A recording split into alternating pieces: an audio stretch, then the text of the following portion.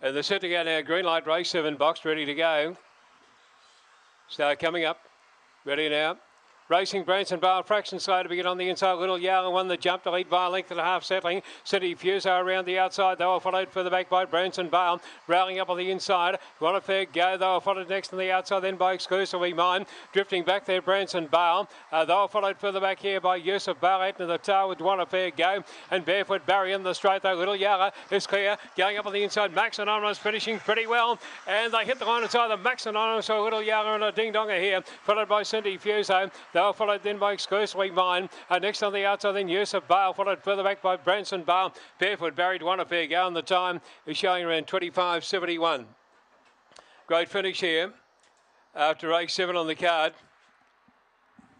And it's Max Anonymous, number six, and three Little Yarra in a real close go here. 25.71 the time.